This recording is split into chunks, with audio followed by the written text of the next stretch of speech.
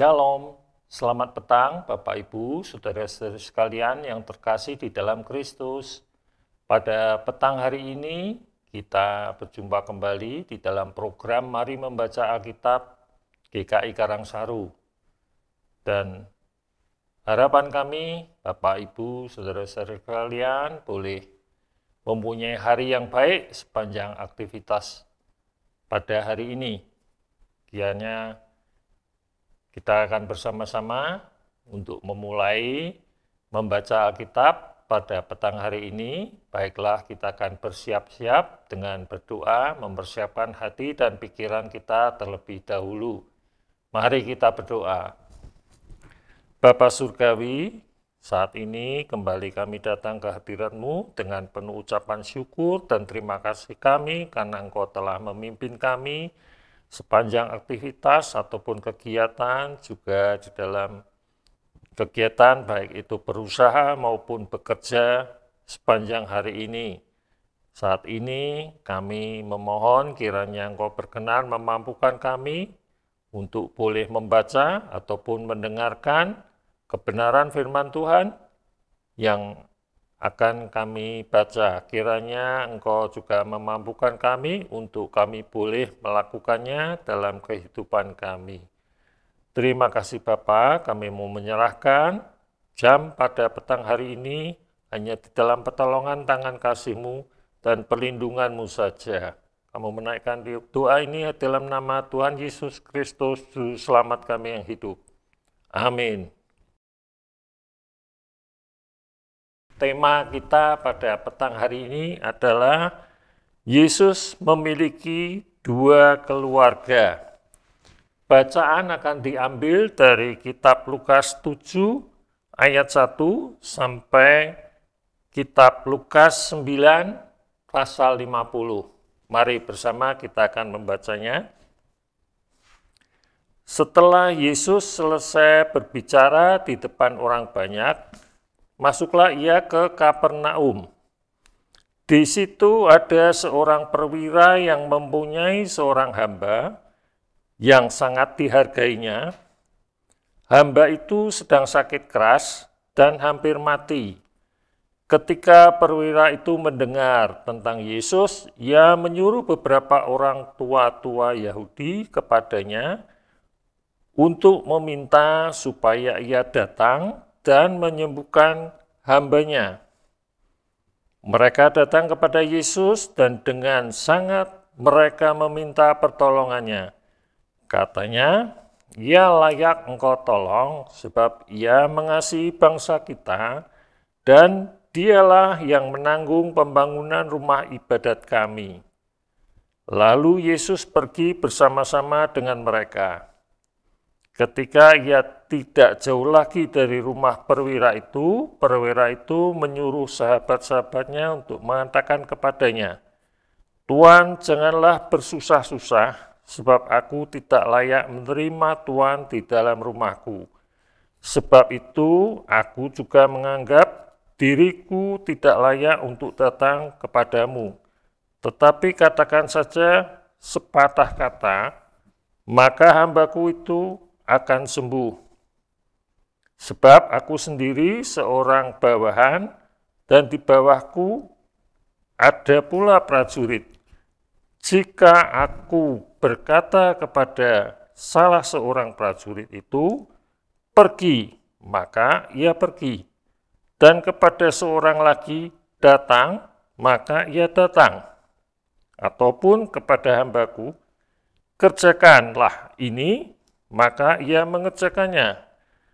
Setelah Yesus mendengar perkataan itu, ia heran akan dia, dan sambil berpaling kepada orang banyak yang mengikuti dia, ia berkata, Aku berkata kepadamu, iman sebesar ini tidak pernah aku jumpai sekalipun di antara orang Israel.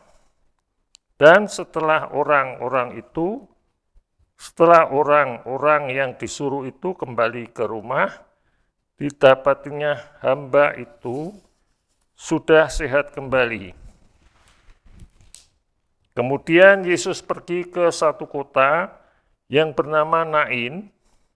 Murid-muridnya pergi bersama-sama dengan dia dan juga orang banyak menyertainya berbondong-bondong. Setelah ia dekat pintu gerbang kota, ada orang mati diusung keluar, anak laki-laki, anak tunggal ibunya yang sudah janda, dan banyak orang dari kota itu menyertai janda itu. Dan ketika Tuhan melihat janda itu, tergeraklah hatinya oleh belas kasihan. Lalu ia berkata-kata kepadanya, Janganlah menangis, sambil menghampiri usungan itu ia menyentuhnya, dan sedang para pengusung berhenti. Ia berkata, Hai anak muda, aku berkata kepadamu, bangkitlah. Maka bangunlah orang itu dan duduk, dan mulai berkata-kata, dan Yesus menyerahkannya kepada ibunya. Semua orang itu ketakutan dan mereka memuliakan Allah sambil berkata, seorang nabi besar telah muncul di tengah-tengah kita, dan Allah telah melawat umatnya. Maka tersiarlah kabar tentang Yesus di seluruh Yudea dan di seluruh daerah sekitarnya. Ketika Yohanes mendapat kabar tentang segala peristiwa itu dari murid-muridnya, ia memanggil dua orang dari antaranya dan menyuruh mereka bertanya kepada Tuhan, Engkaukah yang akan datang itu atau haruskah kami menantikan seorang lain? Ketika kedua orang itu sampai kepada Yesus, mereka berkata, Yohanes Pembaptis menyuruh kami bertanya kepadamu, engkaukah yang akan datang itu atau haruskah kami menantikan seorang lain? Pada saat itu Yesus menyembuhkan banyak orang dari segala penyakit dan penderitaan dan dari roh-roh jahat. Dan ia mengaruniakan penglihatan kepada banyak orang buta. Dan Yesus menjawab mereka, pergilah dan katakanlah kepada Yohanes apa yang kamu lihat dan kamu dengar. Orang buta melihat, orang lumpuh berjalan, orang kusta menjadi tahir, orang tuli mendengar, orang mati dibangkitkan, dan kepada orang miskin diberitakan kabar baik. Dan berbahagialah orang yang tidak menjadi kecewa dan menolak aku. Setelah suruhan Yohanes itu pergi, mulailah Yesus berbicara kepada orang banyak. Itu tentang Yohanes. Untuk apakah kamu pergi ke padang gurun,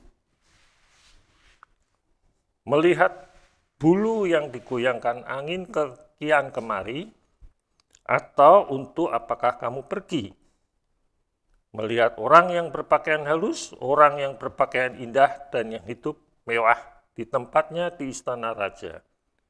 Jadi untuk apakah kamu pergi melihat nabi? Benar, dan aku berkata kepadamu, bahkan lebih daripada nabi, karena tentang dia ada tertulis, Lihatlah aku menyuruh utusanku mendahului engkau, ia akan mempersiapkan jalanmu di hadapanmu.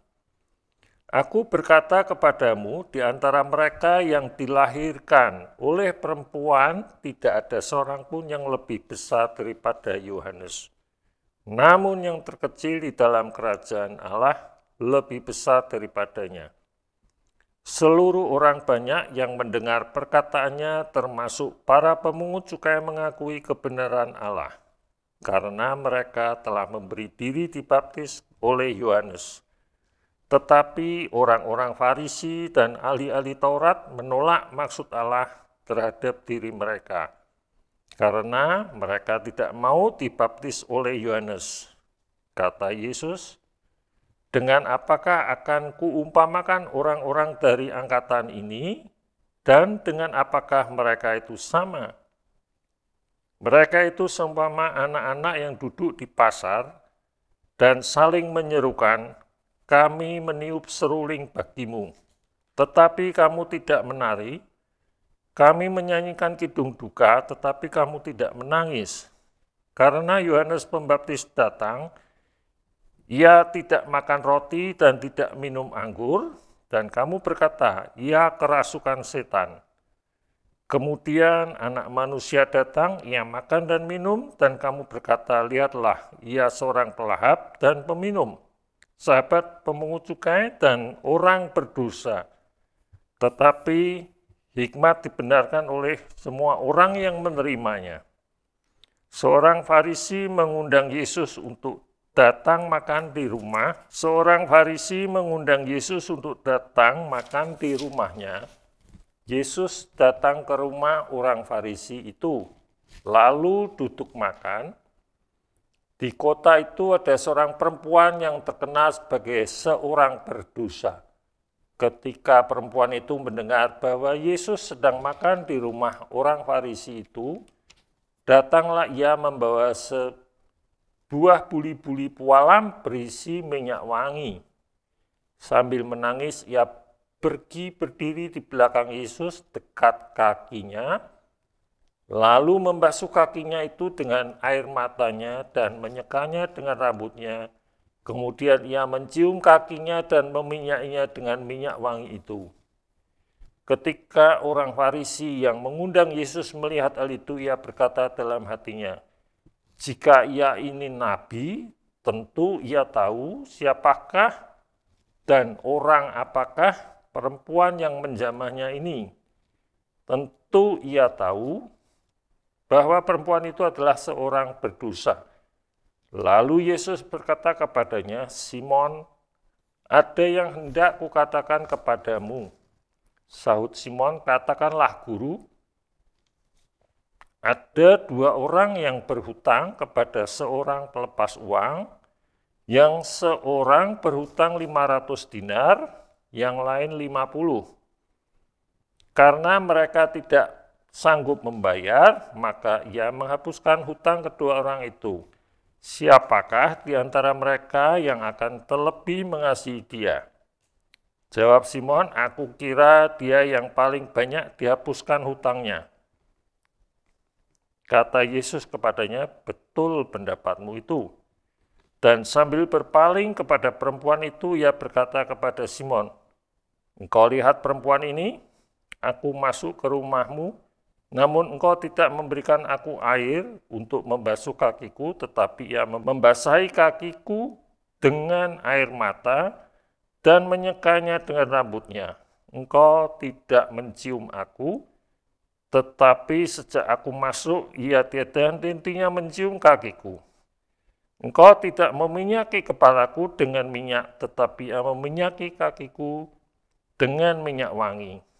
Sebab itu, aku berkata kepadamu, dosanya yang banyak itu telah diampuni, sebab ia telah banyak berbuat kasih. Tetapi orang yang sedikit diampuni, sedikit juga ia berbuat kasih. Lalu ia berkata kepada perempuan itu, dosamu telah diampuni, dan mereka yang duduk makan bersama dia berpikir dalam hati mereka, siapakah ia ini, sehingga ia dapat mengampuni dosa. Tetapi Yesus berkata kepada perempuan itu, imanmu telah menyelamatkan engkau. Pergilah dengan selamat. Tidak lama sesudah itu Yesus berjalan berkeliling dari kota ke kota dan dari desa ke desa, memberitakan Injil Kerajaan Allah. Kedua belas muridnya bersama-sama dengan dia dan juga beberapa orang perempuan yang telah disembuhkan dari roh-roh jahat atau berbagai penyakit, yaitu Maria yang disebut Magdalena, yang telah dibebaskan dari tujuh roh jahat, Yohana istri Gusa bendahara Herodes, Susana dan banyak perempuan lain. Perempuan-perempuan ini melayani rombongan itu dengan kekayaan mereka.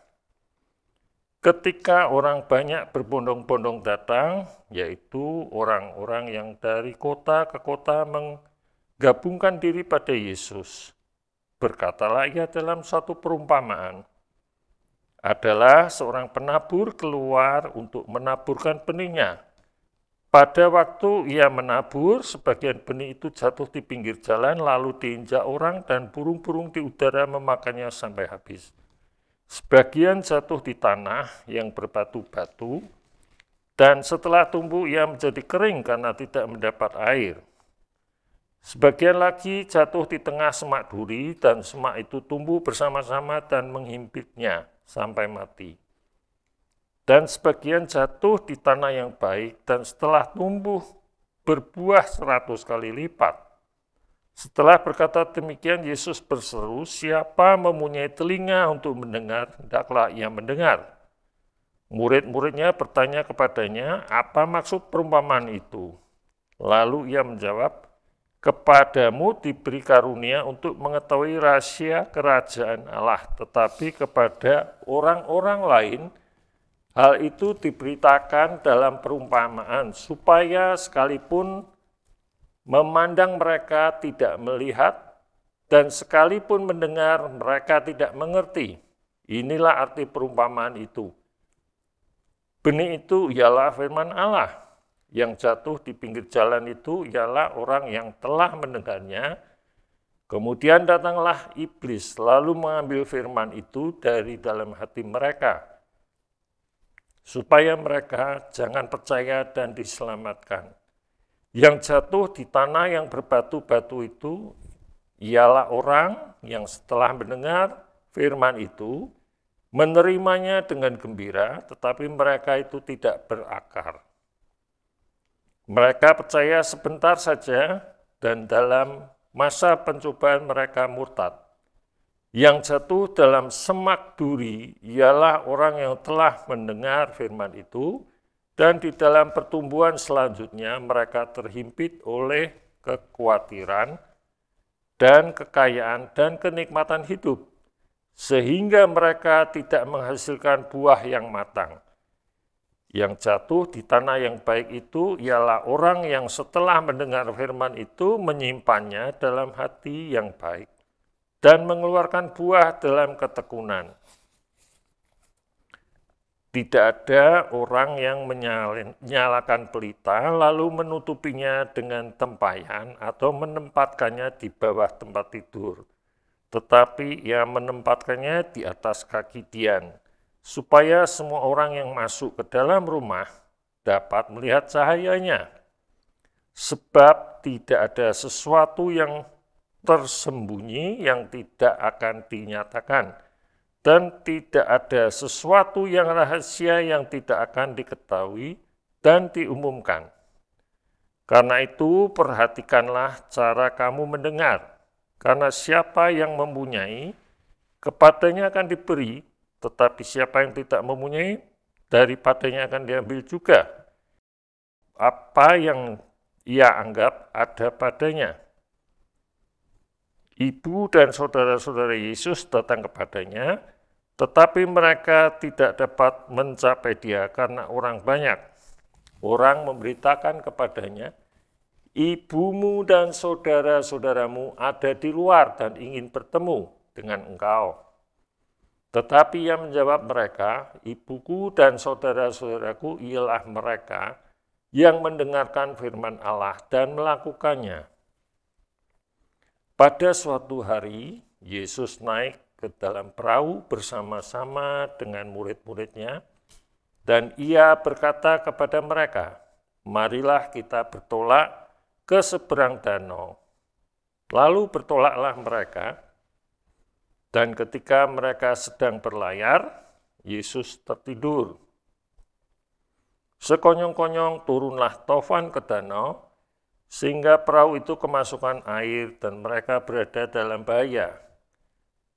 Maka datanglah murid-muridnya membangunkan dia. Katanya, Guru, Guru, kita binasa. Ia pun bangun, lalu menghardik angin dan air yang mengamuk itu. Dan angin dan air itu pun reda, dan danau itu pun menjadi teduh. Lalu katanya kepada mereka, di manakah kepercayaanmu?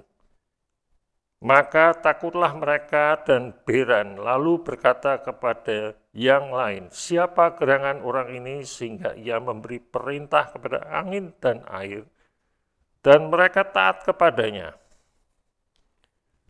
Lalu mendaratlah Yesus dan murid-muridnya di tanah orang Gerasa yang terletak di seberang Galilea.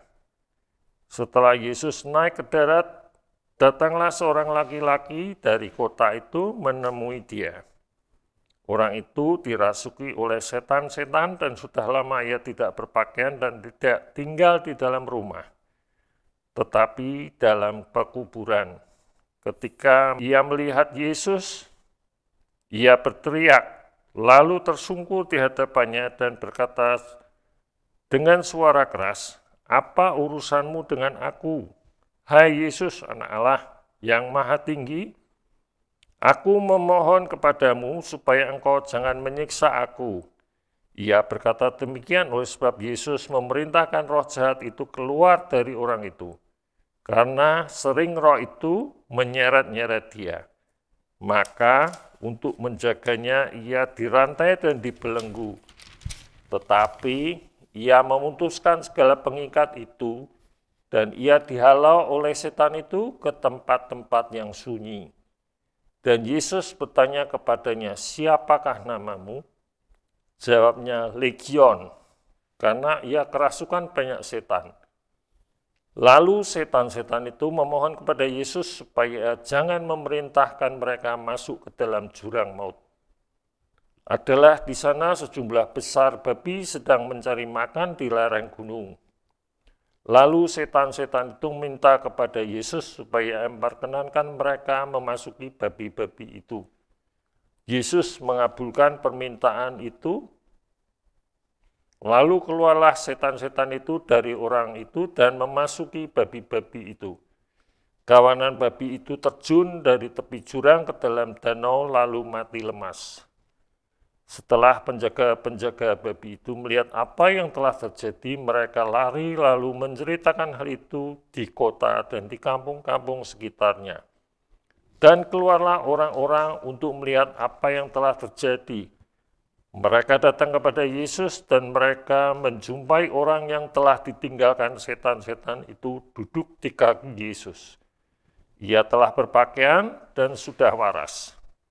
Maka takutlah mereka. Orang-orang yang telah melihat sendiri hal itu memberitahukan kepada mereka bagaimana orang yang dirasuk setan itu telah diselamatkan. Lalu seluruh penduduk daerah Gerasa meminta kepada Yesus supaya ia meninggalkan mereka, sebab mereka sangat ketakutan.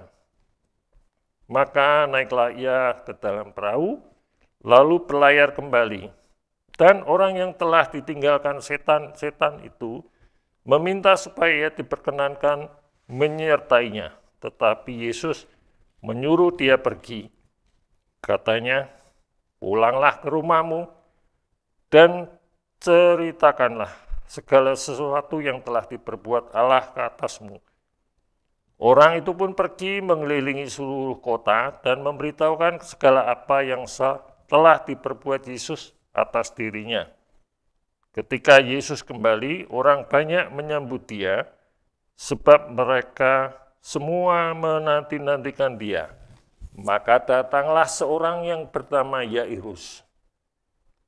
Ia adalah kepala rumah ibadat. Sambil tersungkur di depan kaki Yesus, ia memohon kepadanya supaya Yesus datang ke rumahnya karena anaknya perempuan yang satu-satunya yang berumur kira-kira 12 tahun hampir mati. Dalam perjalanan ke situ, Yesus didesak-desak orang banyak adalah seorang perempuan yang sudah 12 tahun menderita pendarahan dan yang tidak berhasil disembuhkan oleh siapa pun. Ia maju mendekati Yesus dari belakang dan menjamah jumbai jubahnya dan seketika itu juga berhentilah pendarahannya. Lalu kata Yesus, siapa yang menjamah aku? Dan karena tidak ada yang mengakuinya, berkatalah Petrus, Guru orang banyak mengerumuni dan mendesak engkau. Tetapi Yesus berkata, ada seorang yang menjamah aku, sebab aku merasa ada kuasa keluar dari diriku. Ketika perempuan itu melihat bahwa perbuatannya itu ketahuan, ia datang dengan gemetar, tersungkur di depannya, dan menceritakan kepada orang banyak apa sebabnya ia menjamah dia dan bahwa ia seketika itu juga menjadi sembuh. Maka katanya kepada perempuan itu, Hai anakku, imanmu telah menyelamatkan engkau. Pergilah dengan selamat Ketika Yesus masih berbicara, datanglah seorang dari keluarga kepala rumah ibadat itu dan berkata, Anakmu sudah mati, jangan lagi engkau menyusah-nyusahkan guru. Tetapi Yesus mendengarnya dan berkata kepada Yairus, Jangan takut, percaya saja dan anakmu akan selamat. Setibanya di rumah Yairus, Yesus tidak memper Bolehkan seorang pun ikut masuk dengan dia, kecuali Petrus, Yohanes, dan Yakobus, dan ayah anak itu serta ibunya. Semua orang menangis dan meratapi anak itu, akan tetapi Yesus berkata, Jangan menangis, ia tidak mati tetapi tidur. Mereka mentertawakan dia, karena mereka tahu bahwa anak itu telah mati. Lalu Yesus memegang tangan anak itu dan berseru kepadanya, "Hai anak, bangunlah." Maka kembalilah roh anak itu dan seketika itu juga ia bangkit berdiri. Lalu Yesus menyuruh mereka memberi anak itu makan. Dan tajuklah orang tua anak itu, tetapi Yesus melarang mereka memberitakan kepada siapa pun juga apa yang terjadi itu. Maka Yesus memanggil kedua belas murid muridnya, lalu ia memberikan tenaga dan kuasa kepada mereka untuk menguasai setan-setan dan untuk menyembuhkan penyakit-penyakit. Dan ia mengutus mereka untuk memberitakan kerajaan Allah dan untuk menyembuhkan orang Katanya kepada mereka, jangan membawa apa-apa ke dalam perjalanan, jangan membawa tongkat atau bekal, roti atau uang, atau dua helai baju. Dan apabila kamu sudah diterima dalam satu rumah, tinggallah di situ sampai kamu berangkat dari situ. Dan kalau ada orang yang tidak mau menerima kamu, keluarlah dari kota mereka, dan kebaskanlah debunya dari kakimu sebagai peringatan kepada mereka. Lalu pergilah mereka dan mereka mengelilingi segala desa sambil memberitakan Injil dan menyembuhkan orang sakit di segala tempat. Herodes, raja wilayah, mendengar segala yang terjadi itu, dan ia pun merasa cemas sebab ada orang yang mengatakan bahwa Yohanes telah bangkit dari antara orang mati.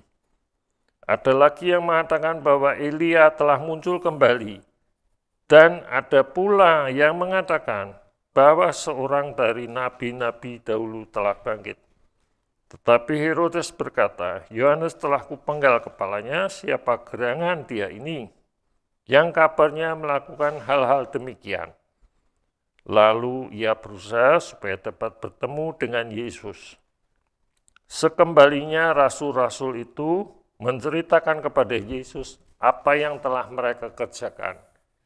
Lalu Yesus membawa mereka dan menyingkir ke sebuah kota yang bernama Bethsaida, sehingga hanya mereka saja bersama dia, akan tetapi orang banyak mengetahuinya lalu mengikuti dia. Ia menerima mereka dan berkata-kata kepada mereka tentang kerajaan Allah dan ia menyembuhkan orang-orang yang memerlukan penyembuhan. Pada waktu hari mulai malam, datanglah kedua belas muridnya kepadanya dan berkata,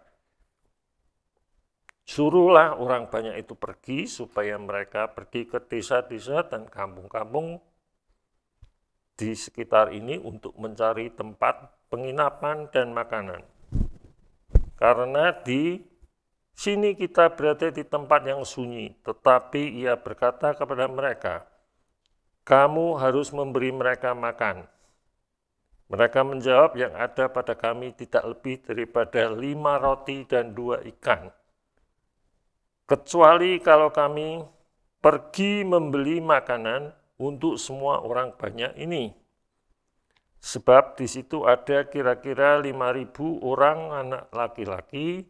Lalu ia berkata kepada murid-muridnya, Suruhlah mereka duduk berkelompok-kelompok, kira-kira 50 orang sekelompok Murid-murid melakukannya dan menyuruh semua orang banyak itu duduk.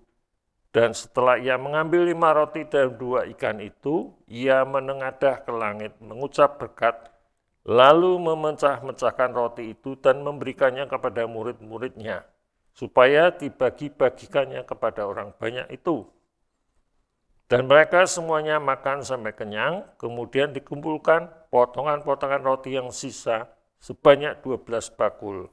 Pada suatu kali ketika Yesus berdoa seorang diri, datanglah murid-muridnya kepadanya.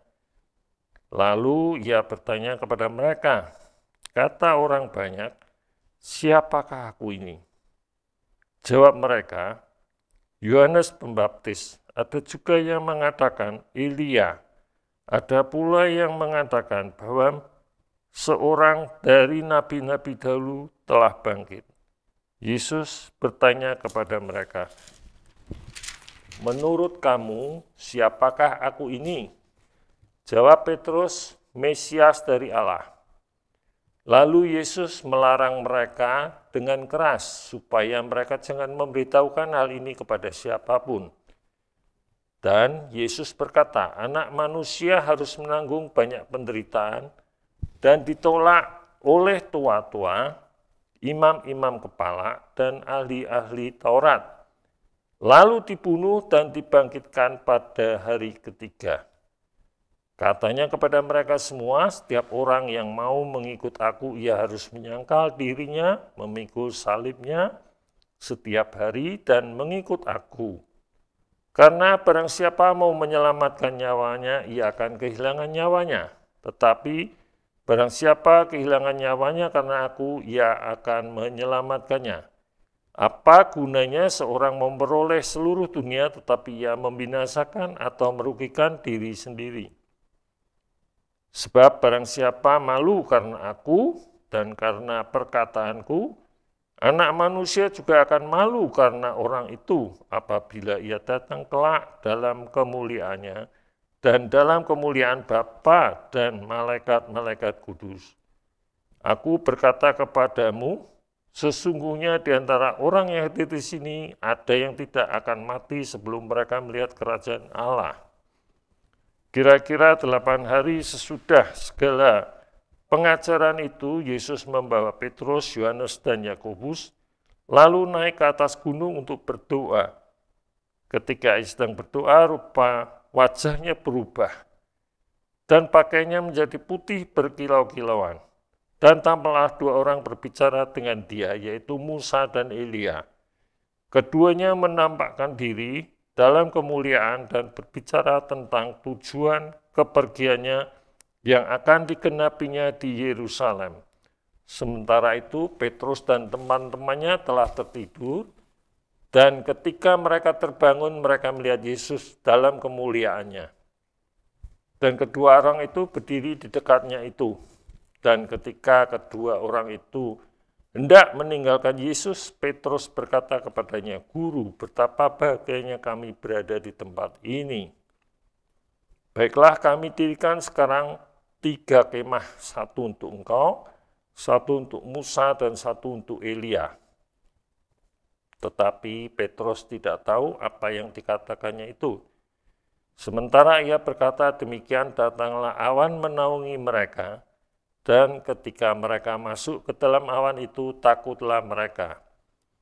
Maka terdengarlah suara dari dalam awan itu yang berkata, Inilah anakku yang kupilih, dengarkanlah dia. Ketika suara itu terdengar, nampaklah Yesus tinggal seorang diri dan murid-murid itu merahasiakannya. Dan pada masa itu mereka tidak menceritakan kepada siapa pun apa yang telah mereka lihat itu. Pada keesokan harinya ketika mereka turun dari gunung itu, Datanglah orang banyak berbondong-bondong menemui Yesus. Seorang dari orang banyak itu berseru kepadanya, Guru, aku memohon supaya engkau menengok anakku.